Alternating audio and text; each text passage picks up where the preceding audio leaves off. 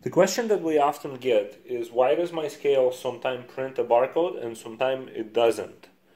Um, so let me quickly demonstrate what we mean by this. So I'm going to go ahead and print a label for the item and there's the barcode, right? But for example, if I made it a little bit more expensive and $32, see at $32 it still prints a barcode. At 89 okay so the total is going to be 53 let's just put something heavier on the scale. So here it is. Now the scale is going to go um, over 100 bucks right? And when we print what happens is there's no barcode. The reason why you have no barcode is because in your barcode you only have four position points to express total price. And if the price goes outside of four position points like for you know for this because this is five position points then the barcode doesn't get printed.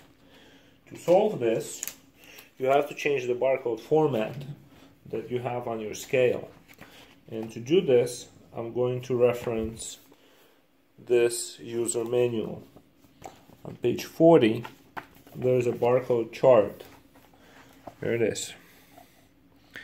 So notice that type 0 has four P's and these are the prices and type 1 has 5 P's right? So if we switch from 0 to 1 then we'll be able to print barcodes that are over a hundred dollars and under hundred dollars because we'll just have that leading zero now to do this I'm going to execute the procedure on page 39 this here and switch from 0 to 1 as is referred on page 40 of this user manual.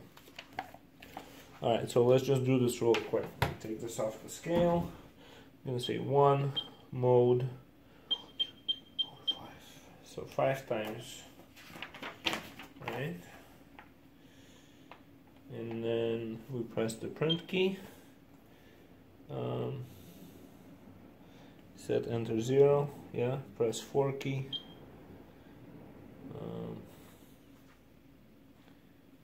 and print label enter 1 yes to program label barcode press 4 key there is so see we're on 0 and we need to be on 1 here it is. We're gonna print and then we're just gonna hit set until we get out.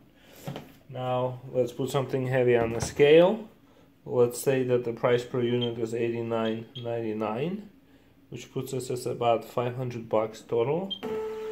And now you can see that you get the barcode uh, and 493.15 is embedded in there.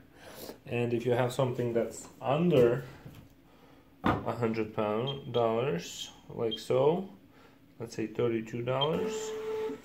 You also get a barcode and you know that's embedded in there. So basically that's how you switch um, from 100 over a hundred dollar barcodes to or five position points for price or or four position points for the price. And if you were not getting a barcode printed this is why